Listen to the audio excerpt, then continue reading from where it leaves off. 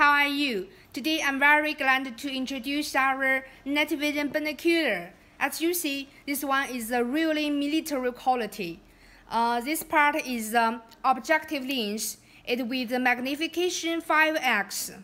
Okay, this part is the IR illuminator. It make you can clearly see the image even you, even in the total darkness.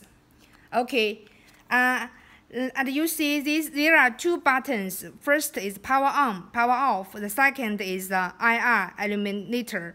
When you use when you in the total darkness environment, you can open this IR, make a, uh, make the target very clear.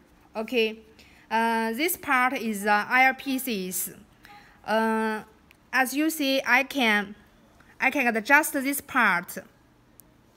Our night vision binocular design is very friendly, uh, such as uh, when I use it, I my eye, eyes is not very good. I need uh, I need to uh, wear the glasses and the then can see the target very clear.